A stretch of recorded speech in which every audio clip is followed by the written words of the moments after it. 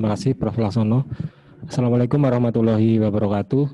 Eh, selamat sore Bapak Ibu semuanya. Eh, pada bagian ini kita akan coba lihat bagaimana potensi pendanaan eh, terkait dengan short hospital atau capacity ya. Baik. Di dalam regulasi terkait dengan pendanaan KLB atau COVID-19 ini kita sudah banyak melihat bahwa berdasarkan undang-undang tahun 84 yang dahulu ya ini pernah dibahas tentang uh, bagaimana pembiayaan itu berasal terutama pada pasal 5, pasal 8 dan pasal 10. Dan ini bisa uh, dimanfaatkan sebagai dasar regulasi. Kemudian peraturan pemerintah nomor 40 tahun 91 tentang penanggulangan wabah penyakit menular juga sudah menjelaskan terkait dengan pembiayaan untuk wabah pasal 30. Kemudian yang baru muncul instruksi Presiden Republik Indonesia nomor 4 tahun 2019 terkait dengan pendanaan juga untuk peningkatan kemampuan eh, dalam mencegah eh, wabah. Kemudian diperkuat dengan Perpu tahun 2020 nomor 1 ya untuk pengganti undang-undang eh, nomor 1 tahun 2020 terkait dengan kebijakan keuangan negara untuk stabilitas sistem keuangan eh, dalam penanganan COVID. Kemudian diperkuat dengan Permenkes untuk pembebasan biaya pasien penyakit eh, infeksi emerging tertentu. Kemudian muncul eh, keputusan Menteri Kesehatan nomor 2020 tentang pemanfaatan dana alokasi bidang kesehatan untuk pencegahan dan isinya DAK dalam DAK ini uh, muncul untuk pemanfaatan pembelian peralatan ya uh, DAK fisik. Kemudian untuk daerah ini baru muncul uh, dari Kementerian Dalam Negeri terkait dengan surat edaran untuk pembentukan pembentukan gugus tugas percepatan penanganan COVID di daerah. Dan ini juga alokasi pendanaannya dibebankan kepada APBD untuk daerah. Kemudian eh, jadi kalau kita lihat dari beberapa regulasi yang tersedia sekarang ini beberapa skenario bisa kita manfaatkan karena banyaknya pendanaan yang sudah bisa di, dipergunakan di lapangan.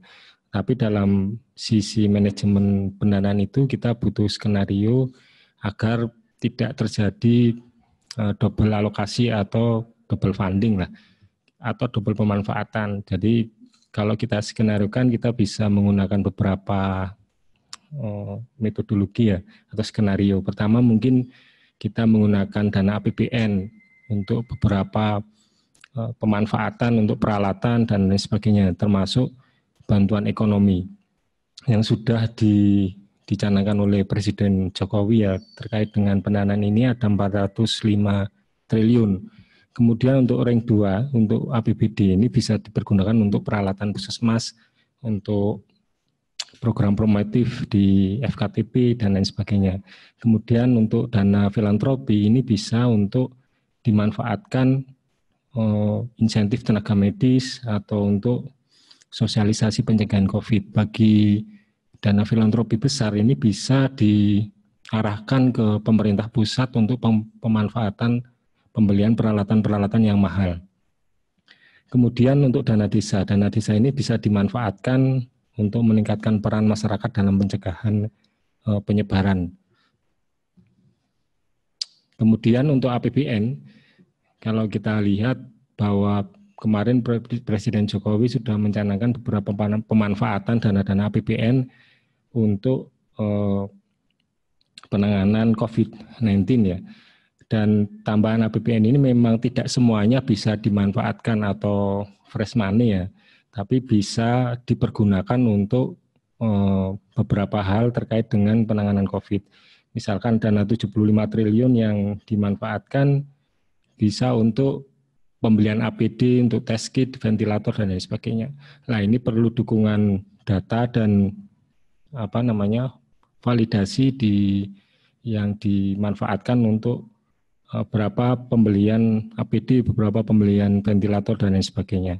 Kemudian insentif tenaga medis per bulan. Nah ini juga perlu uh, perhitungan yang cermat ya. Artinya uh, siapa yang terlibat dan apakah itu hanya di tingkat pusat atau di semua tenaga medis yang terlibat. Kemudian santunan kematian keluarga tenaga medis ini juga sama bahwa pemanfaatan ini juga perlu data yang lebih detail. Kemudian untuk program pemerintah, ini sebenarnya bantuan-bantuan ini untuk untuk program pemerintah yang sudah berjalan seperti PKH ini sebenarnya sudah ada ada yang dialokasikan kemudian bisa naik menjadi 25 persen untuk 10 juta keluarga, kemudian ada kartu sembako, kartu prakerja prakerja yang untuk pekerja informal sekitar 5,6, kemudian untuk biaya listrik juga ada pemotongan bahkan penggratisan untuk uh, pelanggan 450 volt ampere.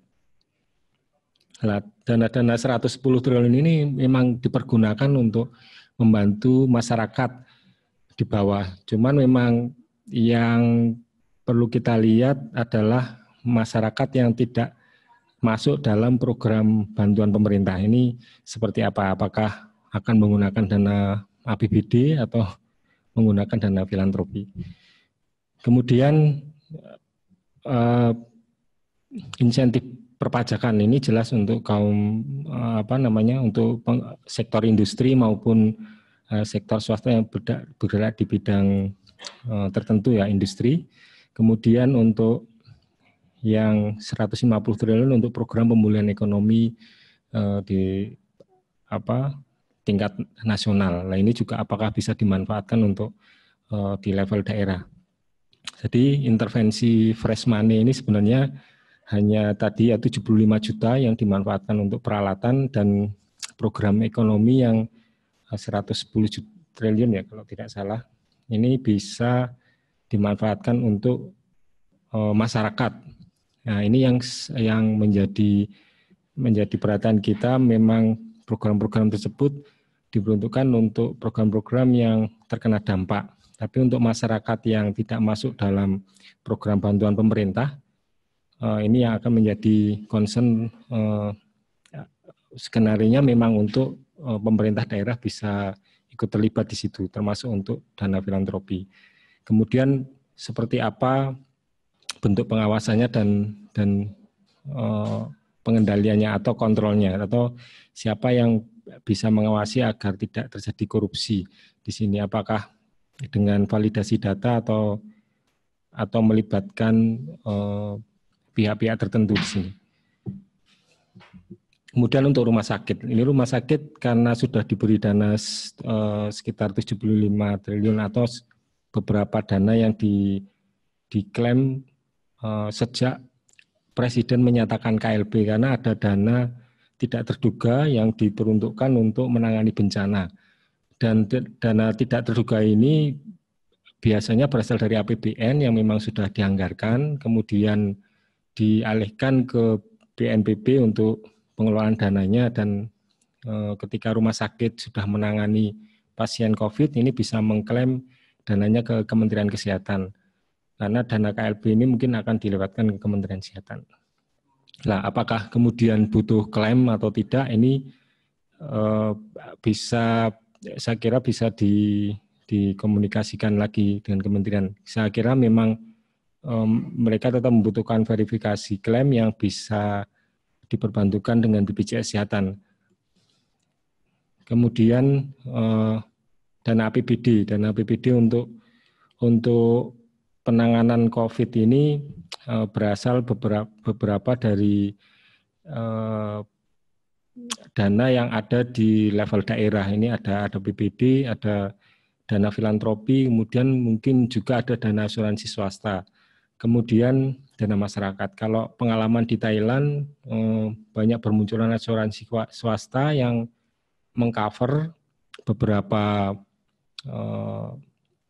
beberapa anu ya peserta dengan mungkin untuk menjamin bahwa penanganan atau ketika pasien sakit e, merasa aman e, tidak tidak meninggalkan beban. Artinya memang seperti kasus di Thailand ini ada asuransi swasta yang bisa mengcover uh, sampai kematian ya, sampai pemulasan jenazah atau beberapa hal yang terkait dengan COVID-19.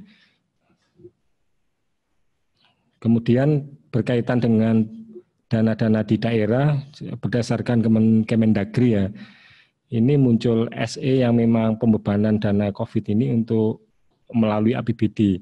Cuman kalau menurut pengelolaan dana APBD ini memang kita kembalikan lagi ke situasi di mana SK gubernur atau bupati sudah dikeluarkan untuk menyatakan KLB sehingga dana-dana untuk eh, KLB atau dana tanggap darurat atau dana tidak terduga atau dana siap pakai di beberapa daerah ini bisa digunakan. Jadi kalau kita lihat Eh, penggunaan di rumah sakit sama, hampir sama, bahwa dana-dana tersebut bisa dimanfaatkan kemudian oleh rumah sakit untuk mengklaim ke dinas kesehatan atau ke eh, BPBD atau ke BKAD. Yang jelas memang harus ditentukan siapa yang menjadi komando dalam pendanaan ini, baik di tingkat pusat atau di tingkat daerah. Karena kalau tidak diskenariokan akan muncul beberapa tumpukan pendanaan dan tidak terarah penggunaannya, termasuk untuk logistik dan untuk peralatan kesehatan.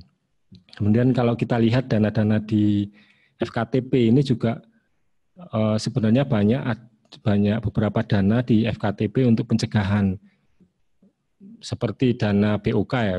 Ini bisa digunakan untuk Eh, penyuluhan ke masyarakat, termasuk penggunaan dana APBD. Kemudian dana kapitasi juga bisa digunakan untuk screening ya, karena memang sudah sudah berada di puskesmas. Kemudian pengalihan dana jam persel dan dana akreditasi puskesmas untuk bisa digunakan untuk uh, pencegahan di tingkat FKTP atau di tingkat puskesmas.